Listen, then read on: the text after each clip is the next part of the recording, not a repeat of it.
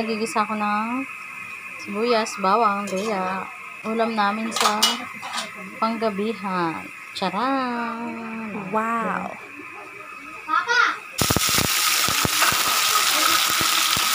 Adobong manok.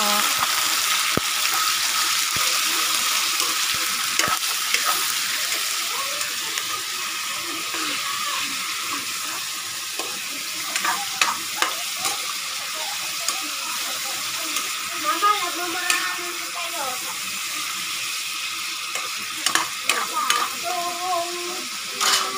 Ayan guys. Ulam namin panggabihan.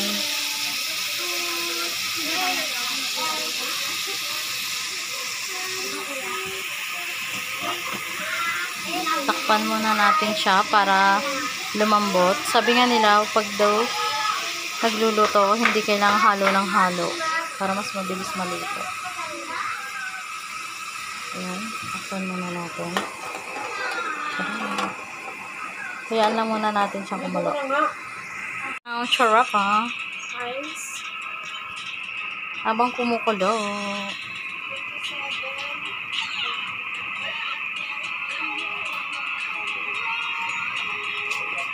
Ay, pag nagmotor ako, wala na. Sira na kong boto.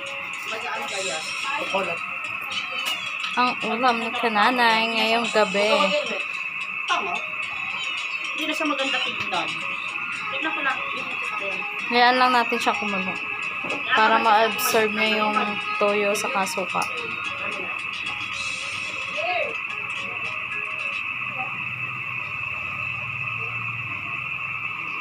Kumain na ba kayo guys? Ang ulam namin sa gabihan. Adobong manok. Sawa na sa puro gulay, manok naman.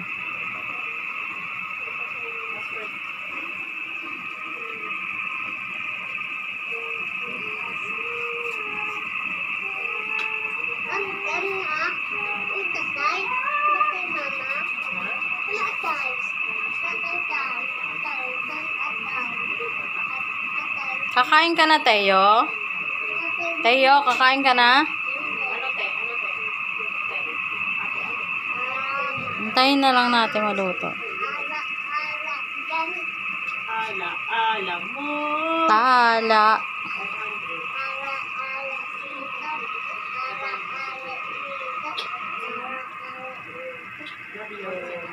Hindi na mabaho yung niya. Hindi na mabaho ah. Oo, siyempre hindi na mabaho yung nga niya. No? Kaya nilo ko kanina, baho daw nila ba? Oh.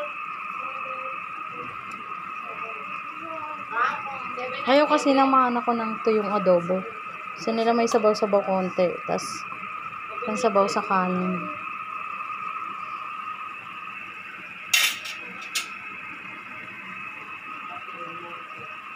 Ah, ang bango. oh. Hmm?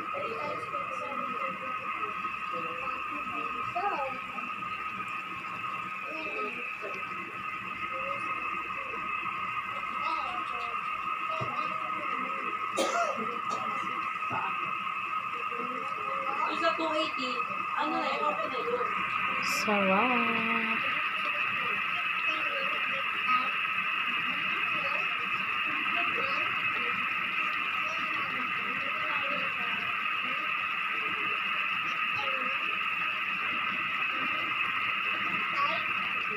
Malapit na siyang maluto.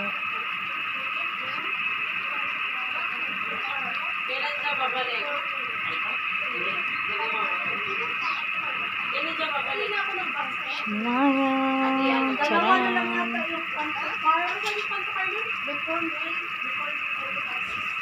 Okay guys, dito na ang aking short video.